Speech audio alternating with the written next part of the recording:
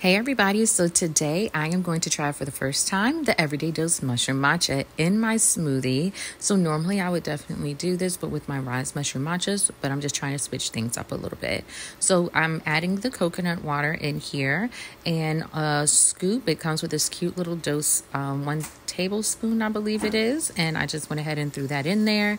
As you guys can see, this is dairy-free, gluten-free, keto-friendly. It tells you to use one tablespoon. There we go for clarification, and I'm going to see how it works for me.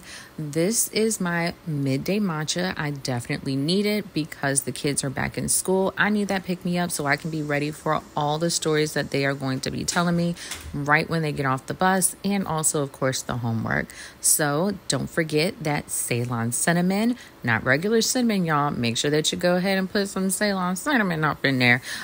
Oh, that's a little bit too much, but let me go ahead and drink my drink. All right, let's see how this tastes. Here it is, finished product, and definitely not bad at all. I don't get any type of under notes of mushroom taste or anything like that. It's blended well in the smoothie. I give it a 10 out of 10.